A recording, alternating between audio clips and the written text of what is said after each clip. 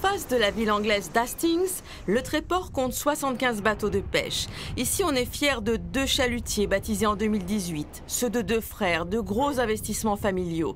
Et la perspective de ne plus pouvoir pêcher autant dans les eaux anglaises inquiète. Un bateau comme ça, ça vaut dans les combien? 4 millions 5. Quand on a fait construire ces bateaux-là, dans le prévisionnel, euh, c'était, euh, il n'y avait pas les euh, moins 25. Hein. Ça serait quand même un sacré trou. Hein. Les pêcheurs normands font 40% de leur prise dans les mers anglaises.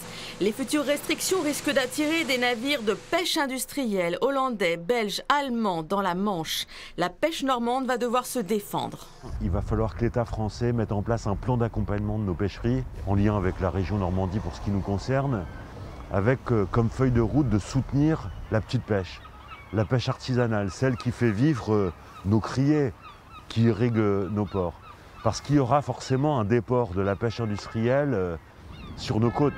Plus de navires dans la Manche, une mer étroite et des champs d'éoliennes en mer qui vont surgir. Pour les pêcheurs du Tréport, ce n'est pas le moment.